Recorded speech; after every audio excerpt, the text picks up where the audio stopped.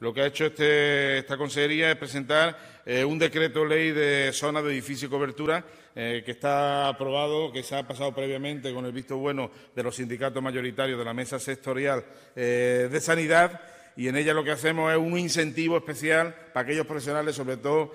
sanitarios, para afincarse desde el punto de vista laboral como mínimo en la zona esta de difícil cobertura, para lo cual se favorecen una serie de puntos de cara a interinidad, a ofertas públicas de empleo, a concursos de traslado, a movilidad y se establece una serie de rotaciones voluntarias por parte de los, de los profesionales.